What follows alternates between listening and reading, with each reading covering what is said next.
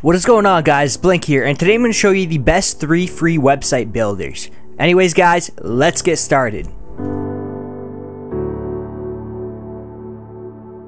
Wix is one of the biggest website builders you can find. Wix has over 500 free professional looking templates compared to other drag and drop website builders. The best part about Wix's templates is that they are already structured and pre-populated with content, which will give you a visual feel of how your website will look before you do anything with the template. You can simply pick your favorite template and replace the content with your own. So basically if you're not creative or good with designs, Wix's templates will work very very well for you as you won't have to struggle with creating your own page layout. Wix also has an awesome e-commerce platform, meaning you can sell digital and physical products with no fees, so you keep all your profits. Weebly is also a great website builder. The user interface is very comfortable to use, which is good for all levels of users, especially if you're fearful of anything to do with technology. You can literally build a good website in a few hours. Weebly has over 40 preset page layouts for you to choose from to get you started. Changing the templates is also easy. With one click, you can change your existing content and transfer it to a new template.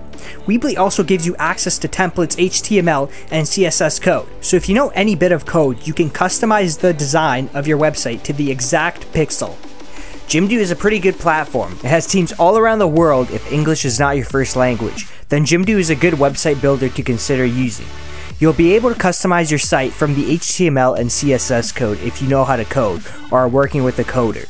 Now some things about Jimdo are that the templates are alright, and if you want more premium looking templates, you would need to subscribe to their premium packages. When compared to Wix or Weebly, Jimdo doesn't have the greatest website builder. It doesn't give you many options to edit the design of your website. However, if you can code, you can edit your design template to your likings, but that's only if you can code. Alright, so let's set up a basic Wix website. First click create your website and choose any category that your website seems to fit in. Next choose the Wix editor if you cannot code. Select a template and hit edit. Now you can edit any part of the website you want. Change the text anywhere you want or remove what you don't need. If you want to edit pictures, just double click on them and then hit add images. Now to edit the shop, click my store and then hit manage your store. You can choose to add any product you want. Add the name, the price, and anything else you would like to modify. Once everything looks right, you can hit the save button in the top right corner. Now just mess around with all the features to adjust your website to your liking. Now let's create a simple Weebly website. Once logged in, choose any template you want. Your pre-made site will be made. Set a domain name that you like and hit confirm. Now you can edit anything you want, so add some text for a title and then add a short description if you want. If you have added something that doesn't fit, simply hit the X and click delete.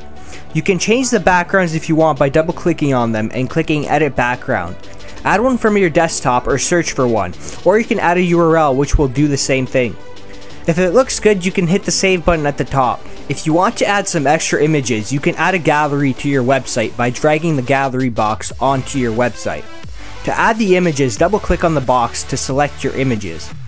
When you're done editing, hit publish. It'll ask you if you like the domain name once again, just in case you want to change it. If not, click confirm and click your link to check out how it looks.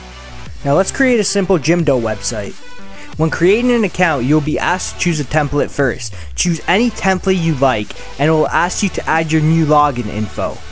Next, choose any website name you would like, and click check the domain.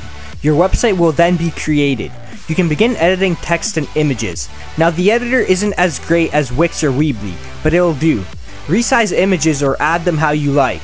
To add a category, click add event and choose any category from the list. The website builder is sometimes pretty annoying to use, so I suggest you use Wix or Weebly if it gets too annoying for you. Well guys, this wraps up the video. I hope you guys have enjoyed. If you have any questions, just ask them down below and I'll be sure to answer as many as I could. Anyways guys, don't forget to like and subscribe to receive more videos weekly. Thanks for watching.